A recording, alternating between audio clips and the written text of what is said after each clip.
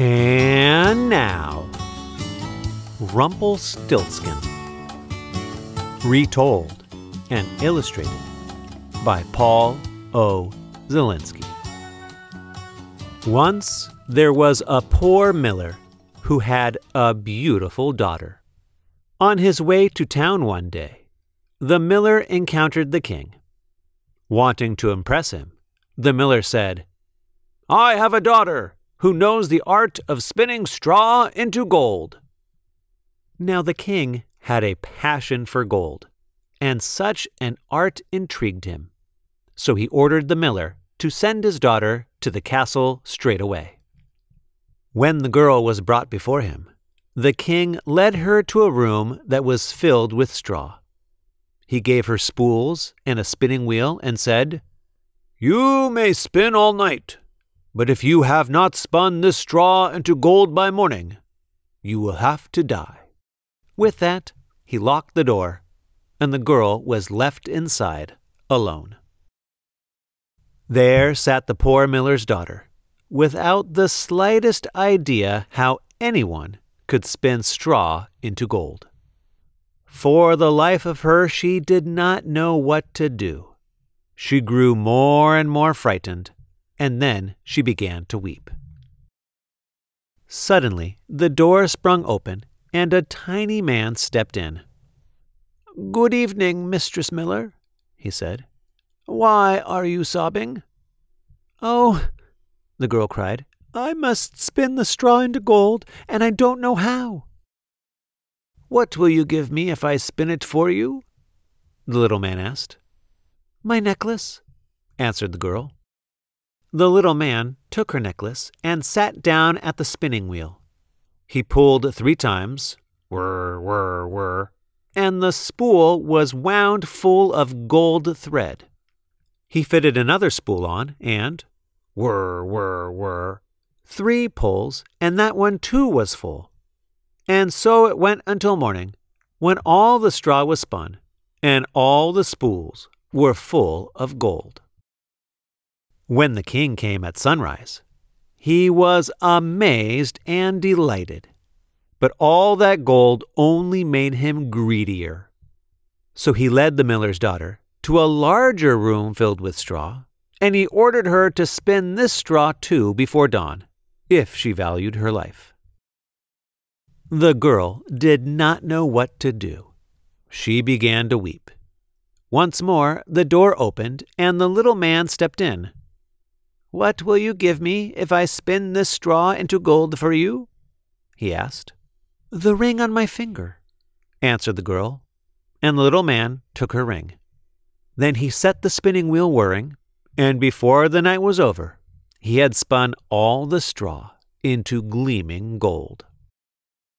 Shortly after sunrise, the king returned. Piles of golden spools glowed in the morning light. The king rejoiced at the sight of so much gold, but still he was not satisfied. He led the miller's daughter to a third, even bigger room that was piled high with straw. Tonight you must spin the straw too, ordered the king, and if you succeed, you shall become my wife. Because, he thought, I could not find a richer wife in all the world. When the king had left, the little man appeared for the third time. What will you give me if I spin for you yet once more? he asked. I have nothing else, the girl replied. Then promise that when you become queen, your first child will belong to me. The miller's daughter gasped. How could she promise such a thing? Then she thought, But who knows whether that will ever happen? And as she could think of no other way to save herself, she promised.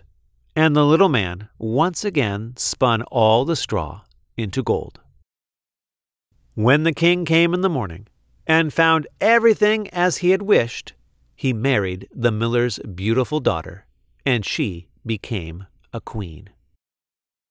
A year passed, and the queen brought a handsome baby boy into the world. She gave scarcely a thought to the little man, but one day he appeared suddenly in her room, Now give me what you promised me, he demanded. The queen pleaded with the little man. He could take all the royal treasure if he would only let her keep her child. But her pleading was in vain. Then she began to weep so piteously that at last the little man was moved. I will give you three days, he said. If by the end of that time you know my name, you may keep your child. Long into the night, the queen sat, and through the next day, thinking over all the names she had ever heard. That evening, the little man returned, beginning with Caspar, Melchior, and Balthazar. The queen recited every name she knew, one after another. But to each one, the little man replied, That is not my name. The second day, the queen had inquiries made in town, searching for new names. And when the little man came that evening, she posed the strangest and most unusual ones to him. She tried beastie ribs, and Lego ram, and string bones, but he would only reply, That is not my name. Now the queen grew truly frightened and she sent her most faithful servant into the woods to look for the little man. The servant searched through thickets and over clearings, deep into the forest. At last, near the top of a high hill, she spied him. He was riding on a cooking spoon around a great fire and crying out, I brew my beer, I bake my loaves, and soon the queen's own son I claim. Oh, lucky me, for no one knows that Rumpelstiltskin is my name. The servant made her way back as fast as she could manage, and at midday reached the castle. You could imagine how glad the queen was when she heard the name. Late that evening, the little man arrived. Now, Mrs. Queen, he said, do you know my name, or do I take the child? So the queen asked him, Is your name Will? No. Is your name Phil? No. In that case, is your name Rumpelstiltskin? The devil told you that! The devil told you that! shrieked Rumpelstiltskin. And in a fury, he jumped on his cooking spoon and flew out the window. And he never was heard from again.